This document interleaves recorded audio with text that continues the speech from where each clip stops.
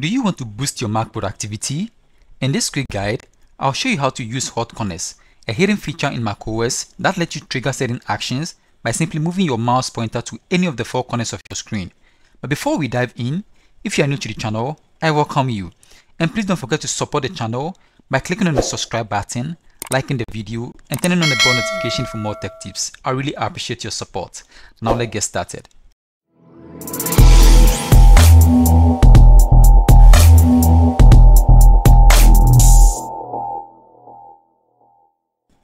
So to use the hot corners in Mac OS, we'll click on the system settings. Okay, in the older versions of Mac, you see system preferences. Okay, they are the same thing. So I'll click on that.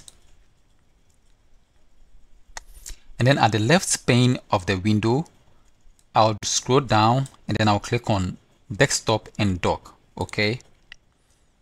And then at the right pane, I'll scroll down and click on hot corners. So these are the four hot corners, okay? So when you move your mouse to the top left, what action do you want to be triggered? So I'll click on the down arrow. Then I want to trigger the screen to be locked. So I'll click on lock screen. So when I move my mouse to the bottom left, what action do I want to be triggered? So I'll click on the down arrow. Then I'll click on start screensaver. When I move my mouse to the top right, what action do I want to be triggered? So I'll click on the down arrow and then I'll click on launch pad. And the bottom right, what action do I want to be triggered? So I'll click on notification center. So after I've selected what action I want to be triggered, I'll click on done. Then I'll close the desktop and dock.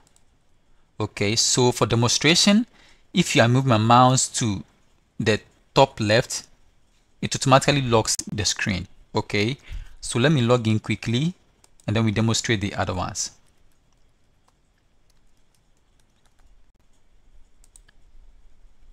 So if, my, if I move my mouse to the bottom left, it will trigger the screensaver, okay? So if you've set the screensaver on your Mac, it will start to show automatically, okay?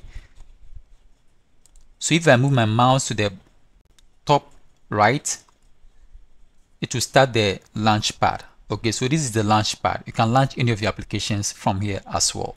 So i'll just come back.